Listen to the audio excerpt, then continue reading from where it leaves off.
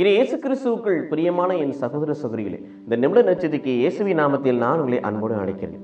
நாட்டிலே கொடுக்கப்பட்ட இறைச்சிதி மார்க் நட்சத்திரி ஆறாம் அதிகாரம் பதினான்கு முதல் இருபத்தி ஒன்பது முடிய. அதில் ஒரு பகுதியை பார்க்கிறோம். ஏனே இறைவாக்கினரை போல இவரும் ஒரு இறைவாக்கினரே. மக்கள் கூட்டத்தில் மக்களோ சதுசேயரோ பரிசெயரோ மறைகள் அறிஞரோ ஒட்டுமொத்தமாக அங்கிருந்த மக்கள் இயேசுவை என்னவென்று சொன்னார்கள்? ஒரு சிலர் இவர் திருமுழுக்கு யோவான் என்று சொன்னார்கள். ஒரு சிலர் திருமுழுக்கு யோவான் மறுபடியும் உயிர்த்தி விட்டார் என்று சொன்னார்கள். ஒரு சிலர் இதோ இவர் எலியா என்று சொன்னார்கள். ஆனால் பலர் இவர் இறைவாக்கில் ஒருவரே. எவ்வளோ இறைவாக்கில் வந்தார்கள் அந்த இறைவாக்கில் ஒருவரே என்று சொன்னார்கள். ஏனென்றால் அவர் எலியாவை போல இறைவாக்கு உரைத்தார். எலியாவை போல இறைவாக்கு உரைத்தார் பிரியமானவர்களே.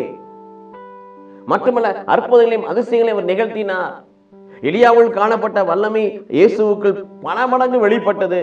ஆகவே ஒரு கூட்டத்தார் இறைவாக்கு என்று சொன்னாலும் பல கூட்டத்தார் ஒரு கூட்டத்தார் அவரை எளியா என்று சொன்னார்கள். எளியா மறுபடியும் உயிர்த்து விட்டார் என்று சொன்னார்கள். இது இயேசு கிறிஸ்துக்கு பிரியமானே அப்போ பணி திருத்துதர் பணி பத்தாம் அதிகாரம் முப்பத்தி எட்டில் வாசிக்கிறோம். பரிசுத்த ஆவியினால் ஏற்பட்ட ஆண்டவராய் இயேசு கிறிஸ்து சென்றமிடமெல்லாம் பிசாசு துன்பத்தக்கூடிய எல்லோரையும் சுகப்படுத்தி நன்மை செய்து கொண்டு சென்றார். நன்மையே செய்து கொண்டு சென்றார். ஆகவே அவர்கள் அவ்வாறு அவர்கள் சொன்னார்கள். அங்கே பார்க்க லூக்கா நச்சரி நான்காம் அதிகாரம் பதினான்கை வாசிக்கின்ற பொழுது அங்கே சொல்லப்படுகிற வார்த்தை இதோ வல்லமை கொண்டவராய் கலீலியாவுக்கு இயேசு கிறிஸ்து திரும்பினார். மத்திய நெற்செய்தி பதினைஞ்சாம் அதிகாரம் முப்பதில் வாசிக்கின்ற பொழுது கிணசிரத்து ஏரிக்கரையில் இயேசு பெருமான் அமர்ந்திருக்கின்ற பொழுது வியாதிப்பட்ட எல்லா மக்களை கொண்டு அவர் பார்த்து வைத்தார்கள். அவர் அவர்களை குணப்படுத்தினார். இவ்விதமான வல்லமை மிக்க காரியங்களை செய்தபடினாலே அவரை எளியாவாக பார்த்தார்கள்.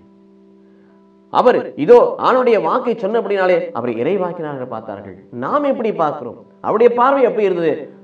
ஆனால் நம் வாழ்க்கையிலே ஆ, இறைவாக்கிற்கு இறைவாக்கிறாங்க எளியாவுக்கு எளியாவாக நம் ஆண்டவராக இயேசு கிறிஸ்து இருக்கிறார். ஆனால் நம்முடைய பார்வையிலே அவர் கடவுளுடைய மகன் மானிட மகன் கடவுளால் அனுப்பப்பட்ட மகன் என்பதை நாம் விசுவசிக்க வேண்டும். யோவான் மூன்று பதினாறில் வாசிப்பது போல மனுமகனில் விசுவாசம் கொள்ளும் அவன் மானிட மகனில் விசுவாசம் கொள்ளும் எவரும் கடவுளுடைய மகன் மீது விசுவாசம் கொள்ளும் எவரும் முடிவில்லா வாழ்வை பெறும் பொருட்டு தன் ஒரே பேரான மகனை உலகிற்கு அழைக்கும் அளவுக்கு கடவுள் உலகின் மீது அன்பு கொண்டார். அப்ப நம்ம எப்படி அவரை பார்க்கணும் கடவுளுடைய குமாரனாக ஆண்டனுடைய மகனாக தந்தையினுடைய மகனாக பார்க்க வேண்டும். அப்படிப்பட்ட ஒரு பார்வை அப்படிப்பட்ட விசுவாசம் இருக்கின்ற பொழுது நமக்கு அவர் எளியாவுக்கு எளியாவாக திருமுழுக்கு யோவானுக்கு திருமுழுக்கு யோவானாக இறைவாக்கு இறைவாக்கராக அவர் எல்லாவற்றையும் நமக்குள் இருந்து அவர் செய்வார். அப்படிப்பட்ட காரியங்களை செய்து நம்மை ஆசீர்வதிக்கும்படியாக அவரை கடவுளுடைய மகனாக பார்ப்போம் விசுவசிப்போம் அறிக்கை செய்வோம். கடவுள் நம்மை ஆசீர்வதிப்பாராக. ஆமீன்.